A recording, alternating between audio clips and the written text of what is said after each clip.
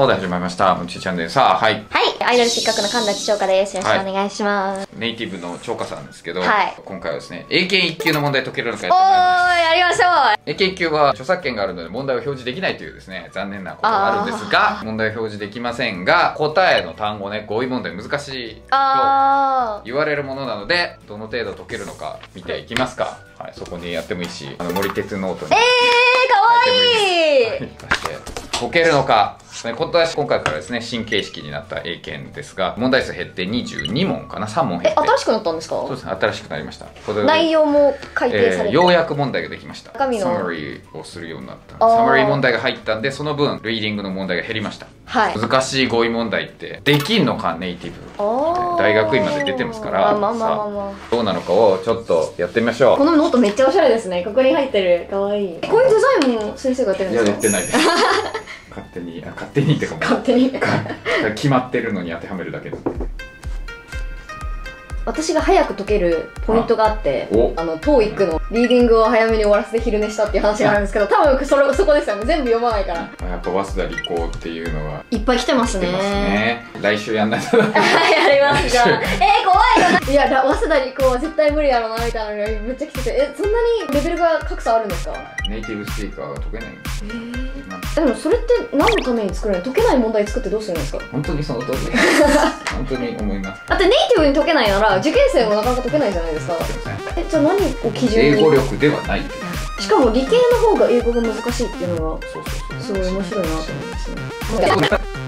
なんか SAT の言葉を思い出しますねこれ見てて。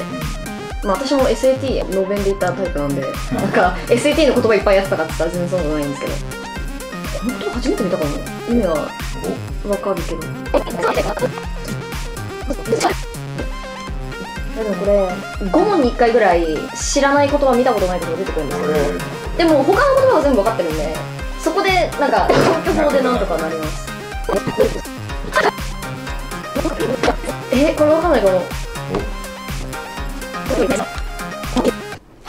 お終わりました。早いですね。さささささっと終わる感じですが。でもこれ迷っても意味ないんで。知らなかったら知らないで。はいじゃあ1番いきますね、はい。そう英文読めないんで。4番の glitch はい正解です。まあこれ後ろにね in the program ってあるからね、はい。プログラムの glitch ってよく使いますよね。結構言いますね。ディズニー、ピクサーのアニメにもグリッチって。あー結構動画とかで出てくはい。るイメージありますね、ゲームの映画。それでもえっ、とあのラケット・ラウスですか？そう。それでもグリッチって呼ばれていましたね。キャラ。グリッチってあだ名をつけられてたのかな？名前だったか。あはい。可愛いですねグリッチって響きが。あら。めっちゃキラキラしてる感じしません？グリッターみたいな。グリッターはね GL の光っていうね光とか火の意味もありますからね。次が1番のセデンテテリー。あそうですねセデンタリー。これ縦に行くのかと思いきや横に行くんあ横に行きました。びっくりした。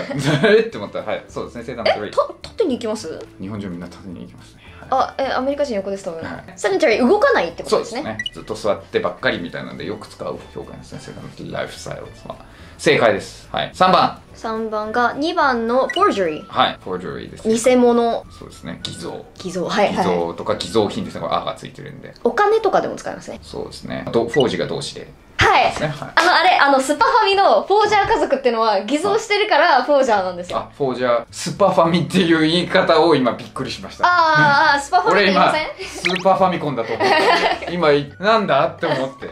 あのスパイファミリーのスパイファミリーの主人公っていうかメインキャストの家族のフォーフォージャーっていうのは多分こっちのフォージャーなんだろうなって思いますね。偽装のね。家族っていうので。はい。 chuckle 笑う。チャコ終わるチャコシャーズとかなんか中学校ぐらいの時にボキャブテス出てきたりええー、じゃあ中学生ぐらいは。い中学生ぐらいですね。じゃあ次はアノーメントそうですね。アノーメンアノーメントはよく結婚で使うイメージがあります。はい。結婚とか契約とかの。トはい。そうですね。Now っていうのがゼロを表してさてはい。次が5番がえー4番ハムドラム正解つまらない。なんかこの、擬音語感があって。ハンドラン。ハンドランって退屈なんとかですね。はい。正解ですさすが。フェロシャスだからすごいですね。ビレッジライフのフェロシャスってなかなかすごい。エンブルマリックもかっこいいですよね。かっこいいビレッジライフやってますね。でこれ6番は3番の Ruthless はい正解ですね。これ日本語と知ってます？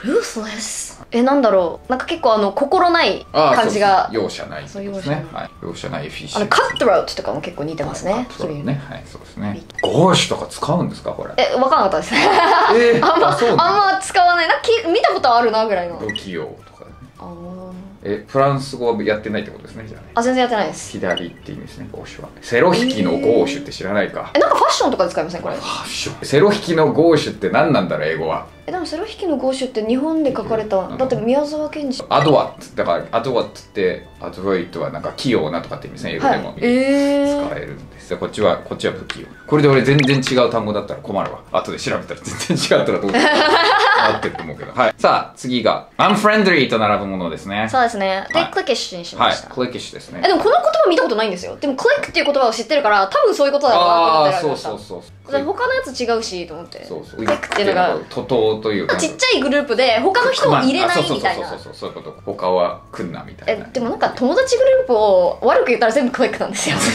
正直。なんか有名なあのコメディアンのジャン・ムレイニーって人がいるんですけどその人がこれを使ってなんかジョークやってましたね。おーそのクリックはダメだよみたいなスピーチがあった時に、いやでも友達グループってみんなそうじゃんみたいな。えー、さあ次が8番が。これが hampered 正解ですね。邪魔的なやつですねハンパーも洗濯かごも hampered って言いません。あそうこれは語源は違うと思いますけどさすがに。でそれは邪魔されちゃったとそうですね、ガルバナイズもこれよくガーフナイズねね。なんかこうあの鎧つけてるみたいな。ああこのね活性化するとかこう活力をつけるっていう危なくんだされちゃった愉快愉快。ディーモナイズとかね、はい、そんなデーモンですから。はい。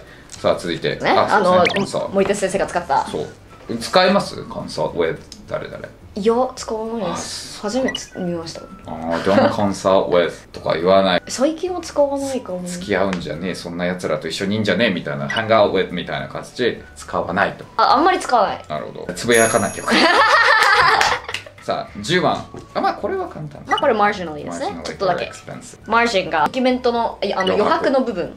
真ん中から外れることをマージン。マージナルマンなんて知らないか。マージナルマン。何でもこれも社会学用語スーパーヒーローですか？違う違う。社会学用語じゃないこれ。心理学社会学哲学とかの用語ですね。へー。教会人。大人でもない子供でもないマージナルマンあーそう教会。だから行間っていうのはそのバッチあるところじゃないはい。なんで、さあ次が。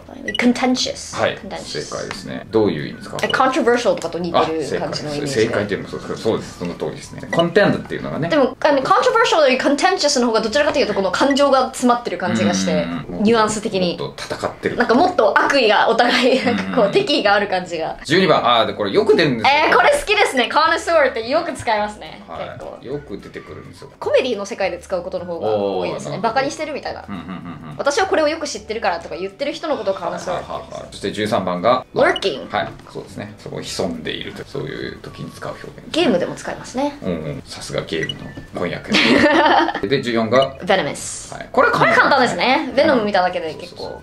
ね映画のベノムもあります。ああなんかあのキャラですか？そうです。マーボーの、はい、キャラですね。これはバッジですね、はい。1番の15ああ番そうですね。動かないそうそう動かすってこれムーブの意味で。これやっぱ知ってる人と知らない人がかなり分かりますね。えー日本だと知らないっていう人といやこれは知ってた。いやでもこれは小学校で絶対習いますね。やっぱりね。そうだから日本で習わない小学生でも知ってる単語のうちの1個だろうなと思いました。3匹の小豚の時に使いますなるほど。動かない。はあはあはこれが insurmountable あはい。これはよく社会学とかでも使いますおねそうなんですね。こういう風に感じるみたいな。え乗り越えられないー、そう壁みたいな。そうそう surmount で mount ですからね。 sur がオーバーなんで超える。 able ができる。で in ができない。はい、あ nonchalant もよく出てきます。あー次がえーとあ deterrent deterrent ってでも知ってます？あのなんかなんて訳されるる。かなんてあーい訳されるか。やなんて訳されるかわかんない。抑止力とか。あ抑止するもの。あグチューリーよく使いますね。ティップとかで。そうそうティップで。スペスメンの知らない人がいるね標本。標のですねでこれが分からなくて。はい。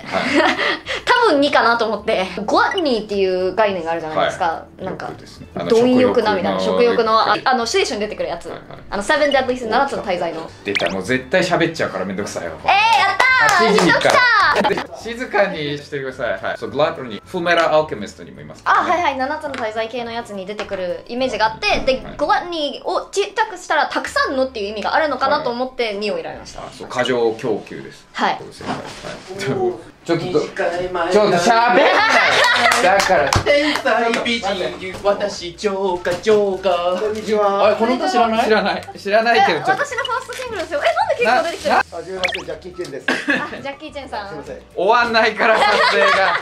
I'm from Seattle too. 嘘つけ。はい。